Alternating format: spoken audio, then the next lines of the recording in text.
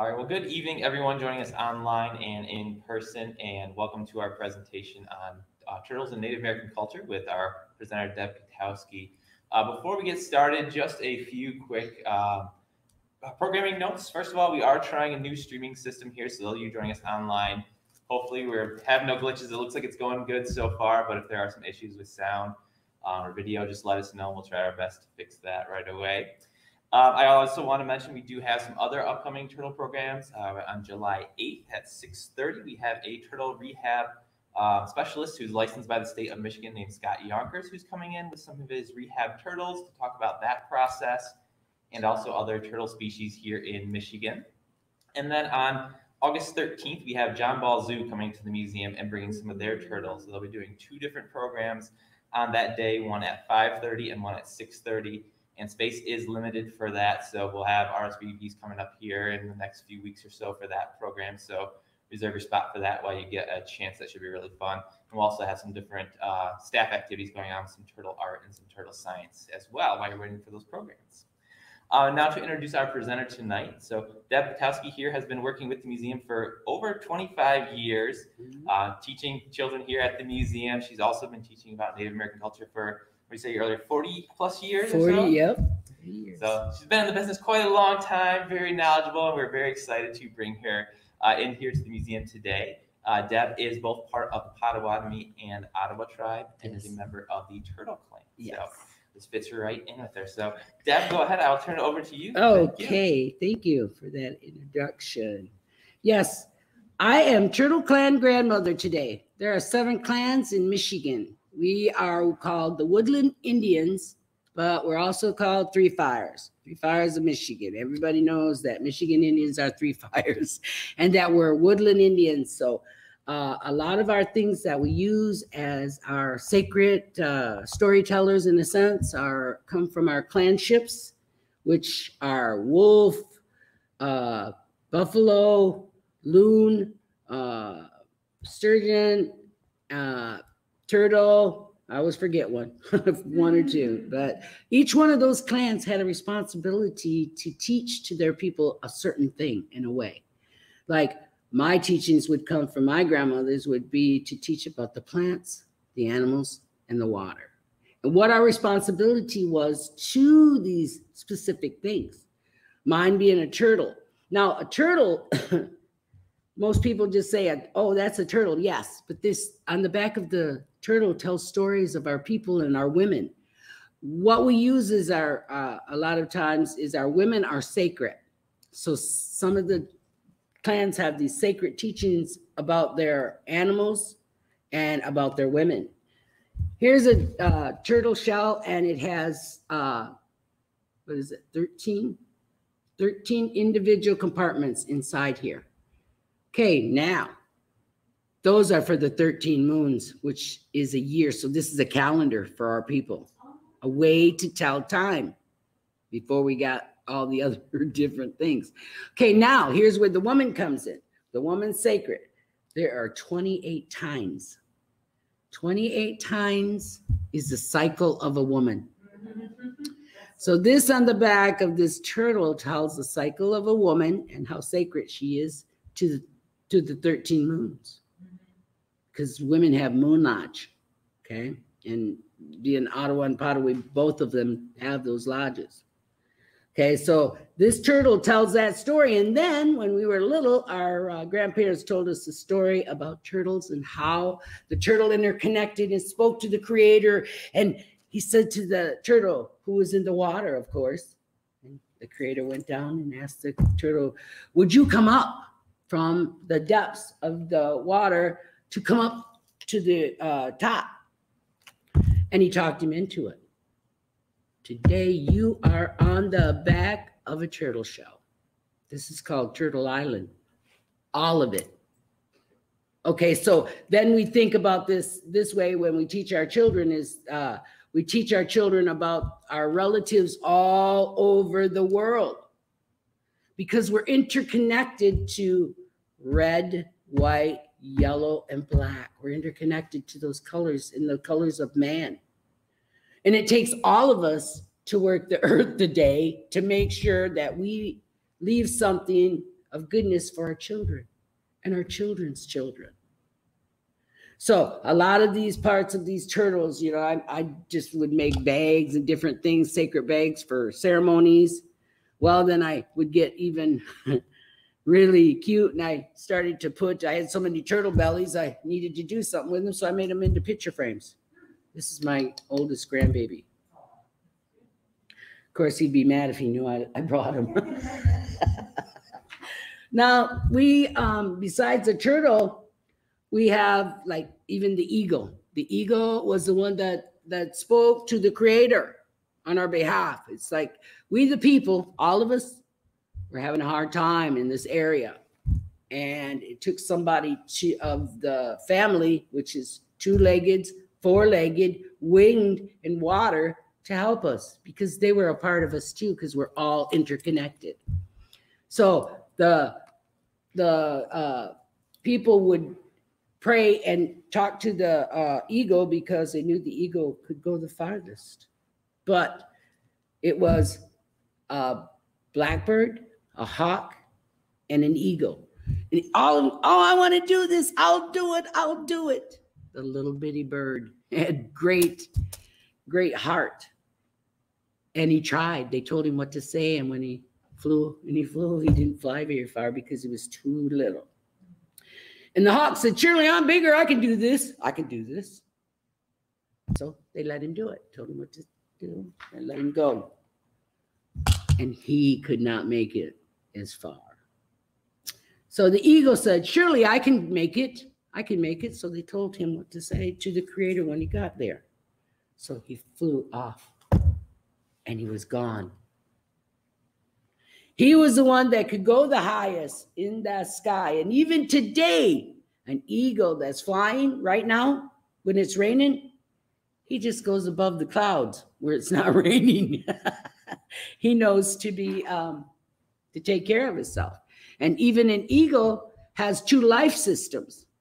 When they're born, they're, you know, they get all their, their parts, their beaks and stuff.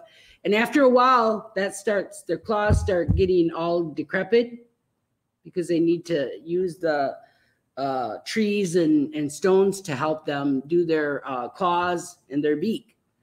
Well, it's a point when they get to a certain age that they go and fly high up and go hide. And it's a time when they renew. Actually, it's a time when they die and they're reborn, is how we say it, because they knock off all their claws, no claws. They knock off their beak, no beak. And the creator grows it back so they have their second setup of life. And they, I think it's seven, I want to say 70 years that they live. And they're one of our teachings and teachers that teach us the way of the creator in our prayers. And we use him in our ceremonies. It's with museums that and Native Americans that can actually put in for eagle feathers. That's the highest honor in our community is to get one eagle feather. And we have five sacred ceremonies. We have many than many more than that, but we have five. When our babies are born, we bless them. Then the next thing happens is they get their spirit name. My grandfather said that our language was so sacred that the devil doesn't know it. So their baby was gifted a name. So and the language is sacred. He he can't get them. it's kind of a helper. Okay, the next is uh, coming of age. It's a time when our children are educated, and then they're we, see if they listen to what we said. It Would be a time where maybe a mom and dad would take their child to the woods, the boys, and let them go out there and make a fire, make find food, survive for a night. In the olden days it probably was four nights but now it's one. So we, are, we put our kids out there but you know what? You can't just leave them there. So there's always mom and dad somewhere watching them they don't know it just to keep them safe because there's other animals out there so then that is coming of age and each one of these are eagle feathers the next one is you fall in love and you marry. Two families blending together is big business. and the last one, we call it walking on, is death. Each one of those ceremonies are um, done in our community uh, for our families so that we can light the fire of our people in the culture. I mean, we've been doing this all along, but it's uh, better to be more open with this and be able to teach it more to our children. So, a lot of these things that uh, you know we use as our, our trainers is even something like a musical instrument. Here we go, John. You know about these? I got these from you. Deer toes. Takes a long time to cook them out, don't it? yeah, yeah, that's that's not a one you want to. And we put these deer claws on our regalia. This is for men, not necessarily for women. and there's a sound. We always say, you hear us before you see us. So we use on our regalia, we have different things. Mine tells the story of all the people I've met in my life, or, or some, my great aunt, my tribe, my medicine pouch, dream catchers, babies' pictures. This is my story. When I and I'm a teacher, so when I teach my children, I want them and my other children, I want them to understand how you tell your story. It's you. You get to do whatever you want to do. Just tell your story about what do you like? What was your favorite story or song or something? And you could put that on your regalia telling the story, even some of the creative ways of beadwork. they know these ones. Or even this one. I'm doing this for my grandbaby. Hello, Kitty. But I teach that to them as a way of patience. It teaches them to use their hands and it teaches them a way of patience because beadwork takes a long time to do it. But when it's done, it's so beautiful. it's so beautiful. Here's a turtle that uh, my friend John Weaver gifted to me. He found in the woods. I've had this for a long, long time and wore it for my powwow dancing or even my friend. You know, a lot of our instruments are made from the animals. So you're going to eat of the meat of the animals. You're going to use all the parts. So you'll find a way to do this. Turtle shell rattle. We sing songs to our babies just like we can sing songs. Well, hello there, ladies. Hello. Even the stories of our weaponry. Years and years ago, before we got into trade with the Europeans, our knives look like this. This is bone. and you would learn how to make your knife from the bone. Well, then eventually, when we got into trading, it changed. The different ways of changing. Even here's a nickel in the butt of my knife. but we take yesterday and today and tomorrow, and we use those as our teaching tools, even the sacredness of our medicines. This is sweetgrass. When you go hunt this with your grandma, you're going to go by the water and you're going to go look for the certain kind of grass. And before you even touch it, you put tobacco down. Take some tobacco and you put it down and you pray to the creator that he lets you use this medicine in a good way and that you're not going to deplete it. You're just taking some. So when you use this, this is one of our sacred medicines, the sweetgrass. We take it and we braid it right there before we cut it. And then once we get done with braiding it, then we cut it. Here's your grandma's braid of hair. So that's why we use this in sacred things. Like you could put this in dream catchers, and some of the girls wear them or just wear a bundle like this. And this is actually a medicine you can make a tea from, and it'll, it's holistic medicine. So not only do you pray with this, you can use it in your everyday life of making teas and different things. And here's another one. This is from Colorado because my friend brought it back for me. it's not Michigan. This is sage. This is another one of our plants. They say now eh, with the COVID coming, they was talking about the medicines. This medicine, when burnt in your in your home, kills germs in the air. And a lot of our things come from the air when someone, you know, sneezes or something, so it's in the air. This kills it. All it is is the smoke of the sage. Not only is that, but we use it for prayers. And then we take this medicine and you can use it for a tea. You can drink this.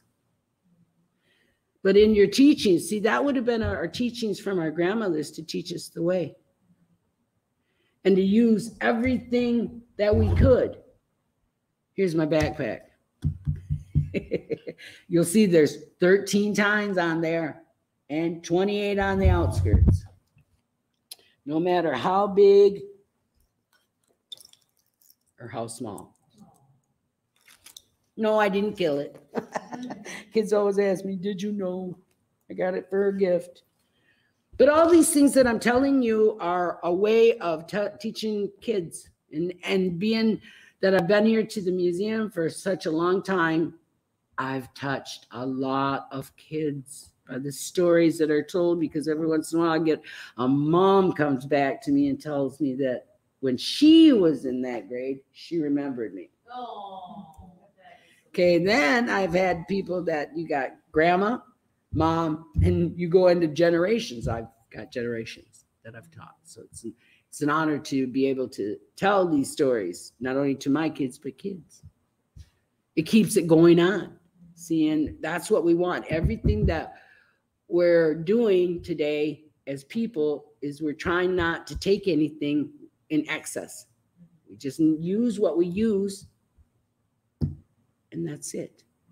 And some medicines you can only cut in certain times. You're going to take it big that then, like certain medicines you can only cut like in there's a medicine that a flower that's cutting right now and you can't get it again for the rest of the year. So you you have to get the harvest in.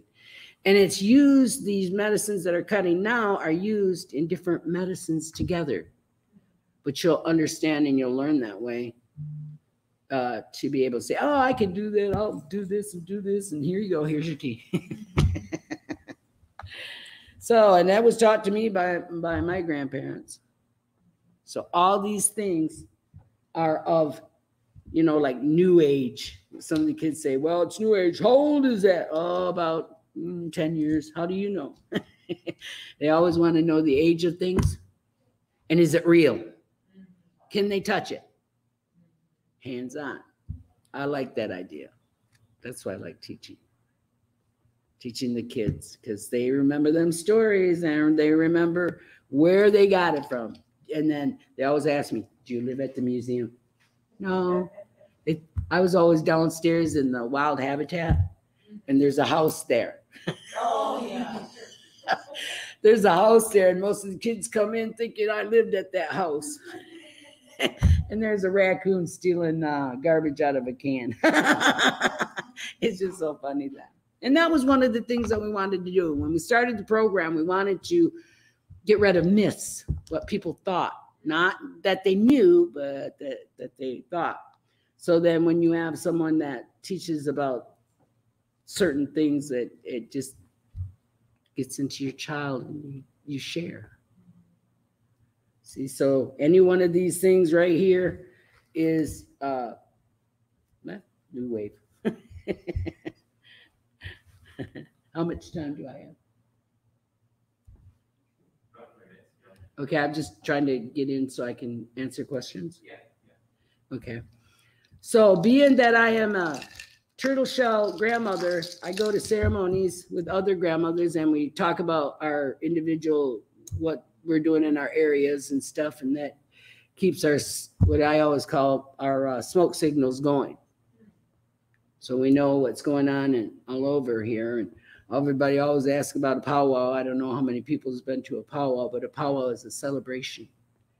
It's just a fun way to have fun and dance and be with your family, and see the new babies and see who grew up, and it, it's like a family reunion every time especially because you, after a while, you know everybody.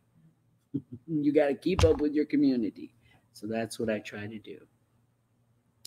Now I'm a road man. What that means is I'm more on the road than I have a base. I used to have the base. I used to have a base in my last job, but now I'm on the road, so I still do what I did before or have done for years in ceremonies and teachings and and educating here and different places. You're the elder, you said. Yep. You're the elder. Now I'm the elder. Yeah, and I, I it was like it hit me like a brick. She's right. It's us. And I've been telling kids for years, Tag, you're it. so it's up to us to do that. And once you get into that and your and your people, you know, you know who needs this or needs that, or just like now I'm trying to plan a, a powwow for Reeths-Puffer in August. See what the criteria is of mask and, and different things that I might have to incur, but I'm thinking about having one outside and I'm praying whatever day it is, it don't rain. Rain the next day after we dance and have a good time because we'll be outside. Uh, I'd like it to, we usually have it in the uh, gymnasium and we usually have it in the cafeteria, our feast, because every ceremony has a feast. So we a meal together. so that'll be in August. And then we have a, uh, our Indian education um, when our children go graduate from high school. These 21ers now are graduation, graduating from high school. They're gifted an eagle feather, a T-shirt in recognition for their their work. And just like we, we were talking about Shelby coming, uh, one being one of my girls and living her dream, and now she's doing doctor work, and pretty soon she'll be here in Muskegon, Michigan, doctoring. See, and that's one of our one of our students that excelled. We have many, we have many, many students that have gone off to be great warriors. That's what I call them. You're my great warrior. Wherever you go, you're my great warrior. so being that grandmother and finding out all about our our the deer clan or finding out what everybody else is doing, making sure that we're all um, you know, we're all trying to do growing trees, picking up trash, uh, any way that we can help uh, with the environment in the simplest forms, even planting a plant. You're doing many things. You plant trees. Oh my goodness. It's not for you today, but it'll be for your children's children later. And that big old tree will give them shade or air. See, so that that's how we uh, talk about our generations. And it's good to see a, a young one in the crowd. Yes, yes, and teachings. So is there, I guess, is there any questions? I can explain the pipe. The pipe is gifted to uh, people that are trained about the pipe, carrying it, and it's the pipe is about prayers. It's about a male and female energy that comes together and makes the prayers be stronger. And then when you do a pipe ceremony at any one of these ceremonies, it is a very, it's like a very powerful sacred gift when you light that pipe. I'd rather light it for a wedding than a funeral, but I've done many of those. And it's a way of the person that carries a pipe has to take care of it. And then we have to we have to give it away. See, because it's never ours. It's only gifted to us for a time. And then when it's our time, it goes out and it goes to someone else. That's what we're doing. That's what we're doing today by teaching people about the responsibility of carrying that pipe is big. It's like being a, a reverend, a pastor, a priest. It's like that. And you have to hold your people and take care of them with the spiritual sense of that male and female energy. Do a pipe ceremony, you know, another state, in another world, I mean, it's, it's so, uh, powerful and it's yes in that sense it is. I know because my father passed away two years ago and my family asked me to do the ceremony and i didn't know if i could.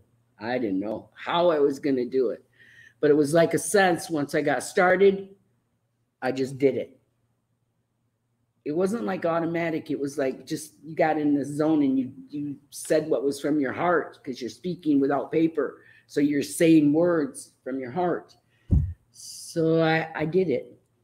I did that one, which was a hard one. But when we're asked to do that, matter of fact, I think I'm probably on eight or nine funerals this year, maybe more.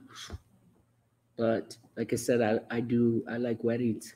I like gatherings like that better because it's a, it's a haha kind of and one of the things that I always tell someone is your greatest attribute is your laughter. Man, you got days you just want to cry. Somebody will come and do something goofy and you'll laugh. And it'll be from your heart, your laughter. So I know about uh, those things. How old do you think your pipe is? You say you have your families, or you have the pipe, it's not necessarily someone owns it. How old do you believe it might be? My oldest pipe came from Potawatomi, my Potawatomi sisters, and that was owned. It had its own owner before me. He passed on. It was a man, Mhm. and then the then the I was gifted the pipe with a dream from my sisters, and that I don't know how old that pipe is because it's been generationed out. It's been I bet you it's had three people that held it, and if you're lucky, you can hold it for 30, 40 years. Then you have to bundle it out and give it up. So, like, I have my son and my daughter, and then I have other people that I'm trying to train so that see how they walk and see if they're if they can handle it because it's it's a lot of responsibility to take on that for your community. But it has so much rewards because you become to be the family. All of big family. So it's all, you know, it's good. What's your favorite story of the turtles that, like, that you Oh my goodness, my my friend tells the story and I always get it messed up. remember? And maybe you know the story about the turtle that's running, running, and um, he, he has somebody that's the turtle. The, the turtle cheats actually. Oh, Somebody else is in the ground with him, and somebody pops up. in the lake. Yep. And the turtles in the ice. Yep. Oh, I don't know that one. Yep. I'll have to find it. That sounds good. You want to tell that? If you want me to. Sure. Oh, I don't remember how it starts. Back before, back at the beginning of time when turtle, the animals could speak, the turtle was, Oh, I didn't say that. um, uh, the hare was boasting about how, wasn't the hare? Yep, it was a hair. Hare the bear? Hair. The hare was boasting about how fast he could run, and nobody can outrun the hare. Okay. He is so fast, and the turtle, you know, all the other animals were kind of sick of this, and the turtle was like, let's change this. You know, you know, they talked together one day, let's change this. So the next day, at the wa- you know, down by the lake, middle of winter, the turtles there with a bunch of his friends. and Rabbit comes up and says about how fast I can run, nobody can beat me. Turtle pops up, I can. What? No, you can't. I can. Okay, prove it. And, you know, let's race. You know, the bear can be the judge. Okay. Problem though, I'm a swimmer. I, I can't run on the land you.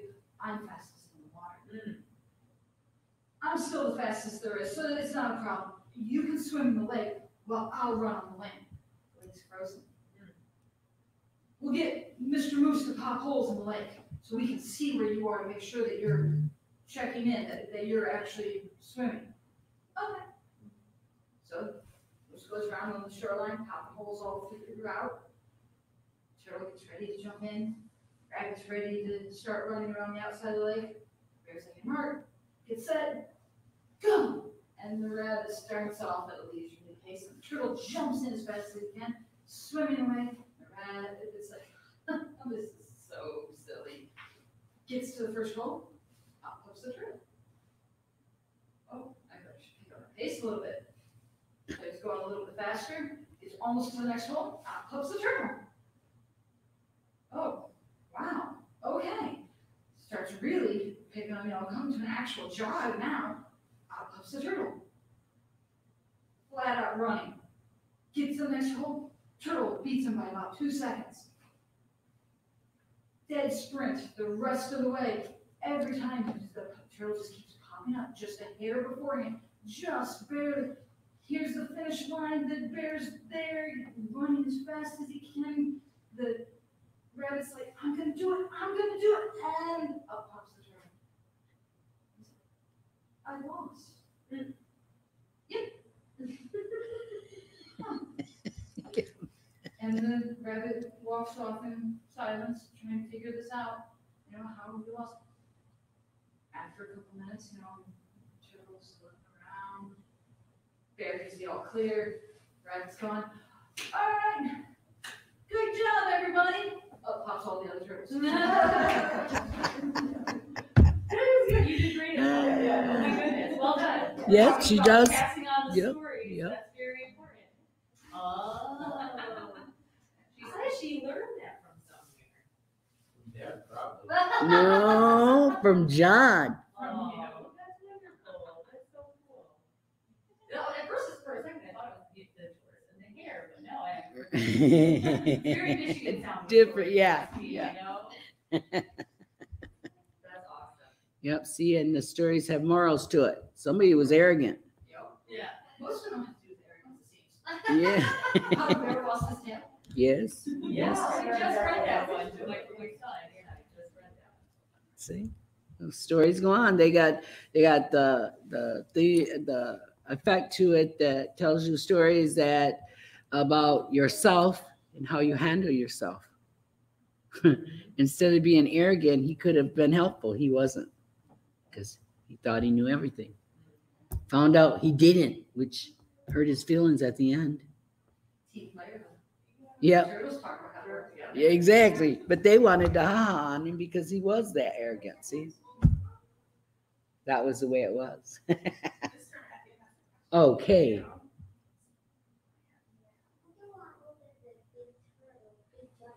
She was also asking what was on your hair. My hair. This one? Those are eagle feathers. I just was gifted them. I didn't. I didn't go out and buy them. I went. I was gifted the feathers. Actually, when you want eagle feathers today, you write to Fish and Wildlife, and they give you pretty much they get you a permit if you answer all the questions right and show them your uh, tribal ID because you have to be a federally recognized tribe in order to get them. And they check that and they say, okay, you're put on a waiting list in year, two years, three years, maybe four. You'll wait, and then one day your package comes. And you can get a, yeah, I've had four of them. When you pull that big bird out of that box in that dry ice, because you only got two days on it, that, that eagle has to get to you in two days. Oh, man. What if you, I always thought, what if the mail don't work? Right. So then you're responsible for all of that bird? Yep. Wow, and Then- then the bird comes from, Uh, Fish and Wildlife for us, Colorado. okay, so that's, the bird has passed on, it was found, or it was at a rehab, it died, Yes, sure. yes. So Okay. you haven't gotten any Michigan birds from up the From have have I? I don't know. See, because once you get them from the, they don't tag. They didn't tag it unless you. I guess uh, unless you want to know where it came from. I just never did. I was awed by the. I'm gonna lie. I was, my goodness, a whole bird. So when you process that then, because you, you do want to use all parts of it or dispose of all parts of it Yep. then you have a special ceremony that you do when you take care of the eagle? Yes, we have to bless that ego because he passed away. We have to we have to say the prayers for his passing, And then we're gonna repatriate it. What parts we don't use, the crawlies in the earth will eat that. So everybody has a part of that and everything that we use will be used in ceremonies or gifted to the grad graduates or anyone, you know, some of the things uh, are handed over to your family and you get two wings and you can make wing your fans from them and then you get a lot of feathers. I forget how many feathers there is, but there is a lot. And then you get the tail feathers and I like the butt plumes and everybody always laughs about that because they're soft. They're so soft. They're like this. The girls wear them in their hair. The ones that stand up and they're fluffy. So I, I kind of like them, but yep, I've had four of them. Were you taught that from your grandparents then, you say? That's wonderful. How young were you when you remember your first Eagle ceremony, you know. Uh, when I was little, I didn't even know what it was. I just, you know, we went big fire. Everybody was there. The people that was the medicine people that came for this ceremony were there, and they just did it. And we were just little kids, so we grew up like that. And then eventually, you, he's coming. We're going to do this ceremony to bless the eagle for this man who's going to gift it out in his community, which is going to make us even more family by our gifts of sacredness. Well, even in you know in our community, we give uh, our pipes back, and they come from Muskegon, Michigan, because a lot of people don't still don't believe that we're still here, and most of them are little kids, you know, because you're reading the books and, and things, and they just don't think we're still here. Do you have a turtle ceremony then too? I mean, is it like? or- Yeah, well, if you're taking of, like, say I get, uh, my friend gifted me with snapping turtles. Okay, the snapping turtles, I'm turtle clan. I can never eat turtle meat. Mm, That's the other thing is when you're clan ships, you don't eat their meat of it. mhm.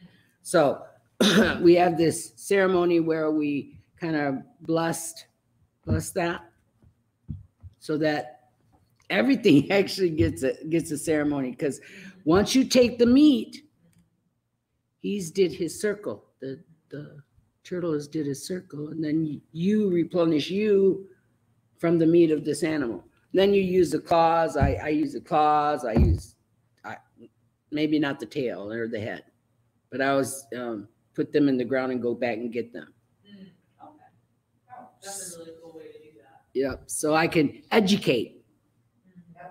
You go back and get the bones. Yep. So Go back and get the bones. so- Even the eagle bones. When I put the when I put the eagle into the ground, I probably put him in there for a couple years. Then I may go back and get the bones of him so I can show. And then other things are made from them. I mean, you there's many things that you, you when you're taught about it or you seen online or seen somebody else and you get creative. But then you gift it all away. So everybody gets something. Eagle whistles. Eagle whistles are very, very, very sacred. Yes, the bones. Wow. Wow, that's cool.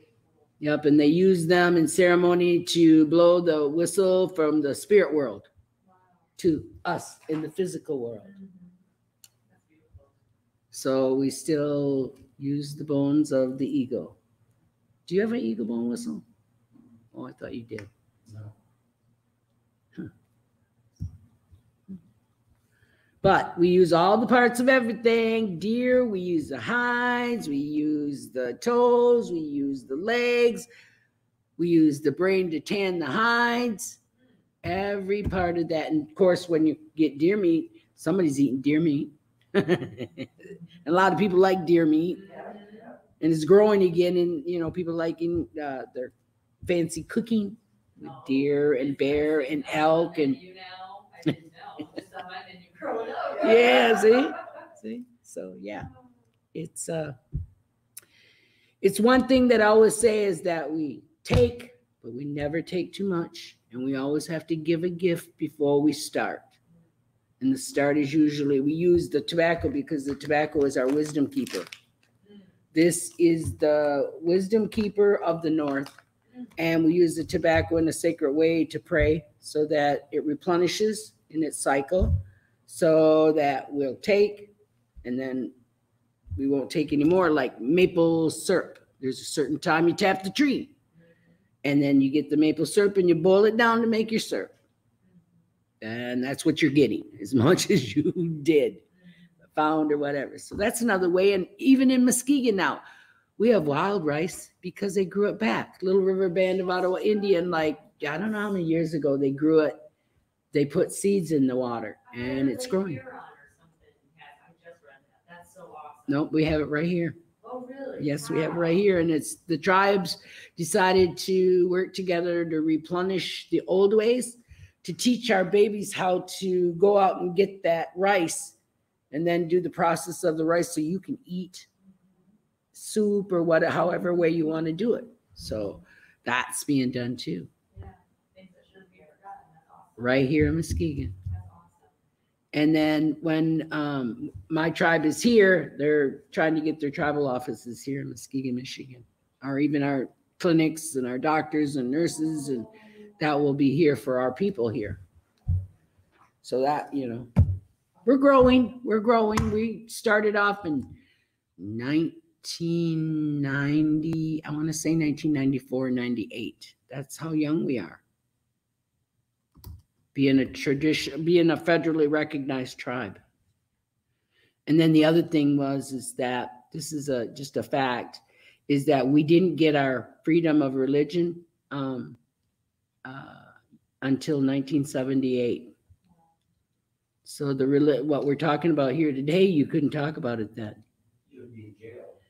You could, yeah, you could be jailed for your own religion.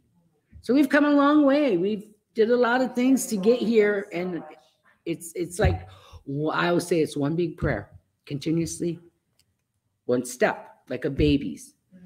Baby gets up and tries to make that step. That's what's happening now because we're so young, and our tribes are trying to give back in the areas where they come from, their lands.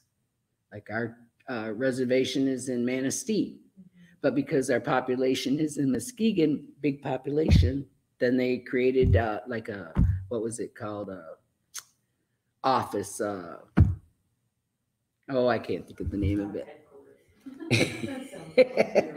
An office, a satellite office. That's what it's called. We started off with satellite offices, and now we're going to the more permanent way. So we're growing. Is that the Potawatomi tribe? No, uh, Ottawa. Ottawa tribe? Potawatomi tribe's doing pretty good themselves.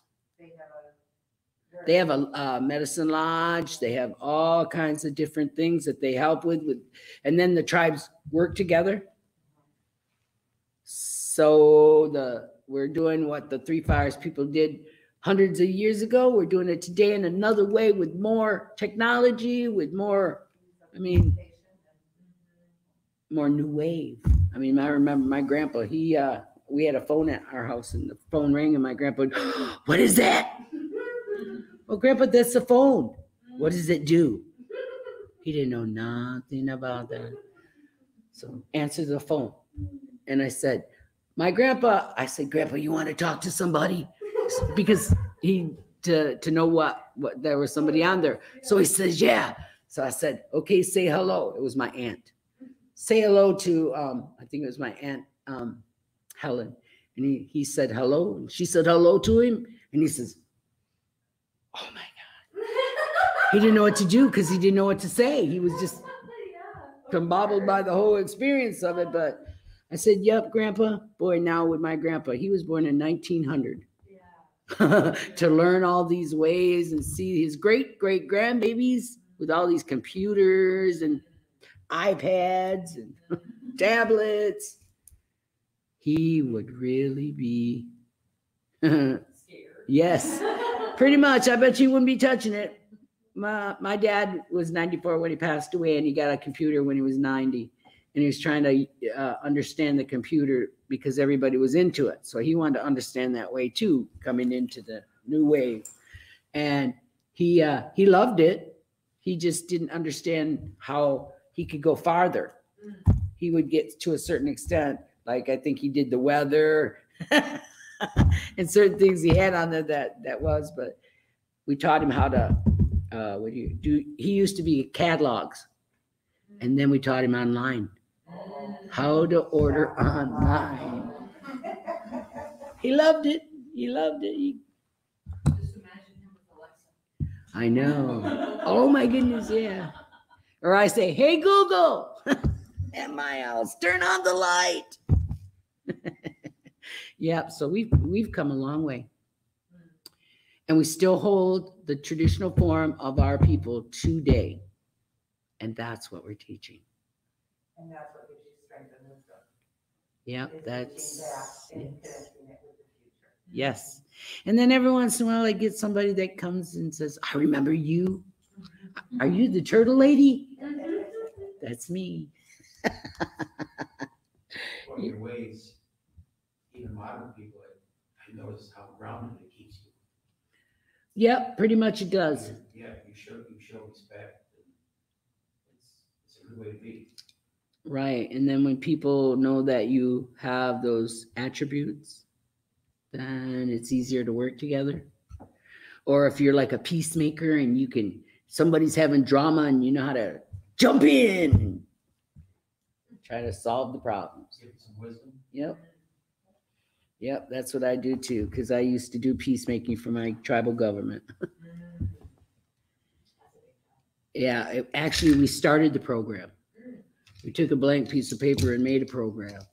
our tribe uh, our tribe put it together and then we just chose so four people and I was one of them chose and then we learned about Michigan law and indigenous law and wow those are two different laws Mm.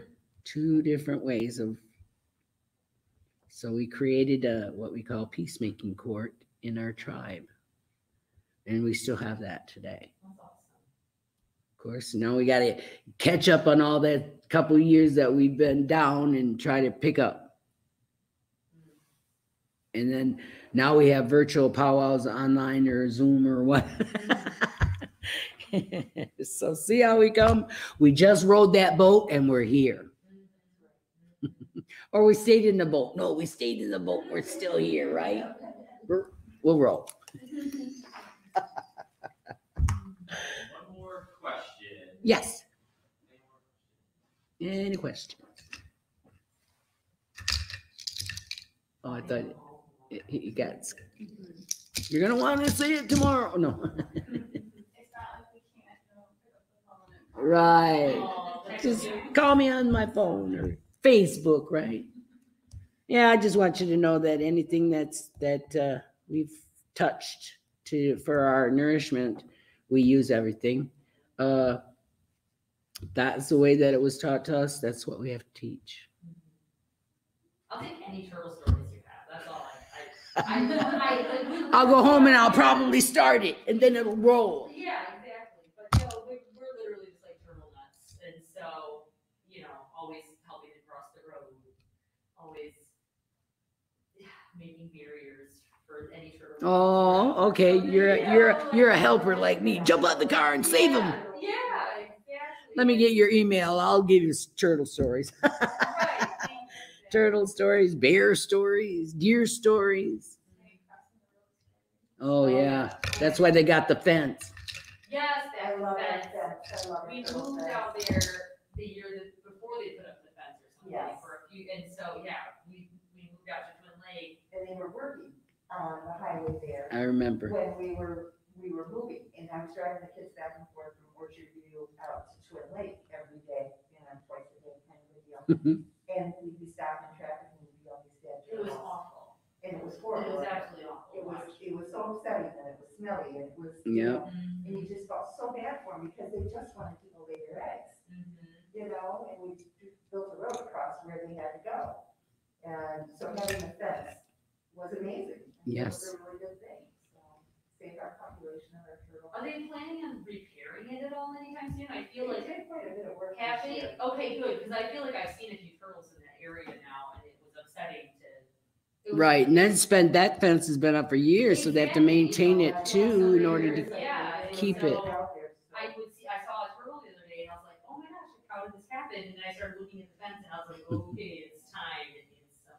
yeah, they do that. They tweak them fences and, uh, stuff like that to keep it. You charge your car insurance, if you smash into it, your car insurance has. to Oh, Take care of yeah, cost, that so- makes sense. Ooh. There you go. Yeah, that makes sense if you That's how did it the was middle. set up originally, is what I heard, but But they're still out there. They're still out they there. have those clever turtles. They probably don't have flash or anything. See? Yep, so that's uh that fence when it went uh up, everybody kept saying, Did you want or something about did I do the fence or did I tell somebody I needed a fence to save the turtles? Anyway, they blamed the turtles onto me, the fence. I said, Yep, I did. It was me. It was me. I did it. Just to save the turtles that crossed the road instead of being real and hitting them. That that was a way to save them. So cost a lot of money, but you know what? It's still there. Yes, yes, and the different turtles. You think of turtles as just one turtle? Oh my goodness, there's so many turtles, different kinds. So it's going to be interesting your programs that are coming up for me because I want to come in and listen. hmm I want to listen to about the turtles from the uh, specialists. I'm a novice actually because to me they're all sacred and turtles. It doesn't matter what they are. Uh, Well, thank you very much, Deb, for coming and presenting for us today. Yeah. Thank you. Thank you, sir, and madam.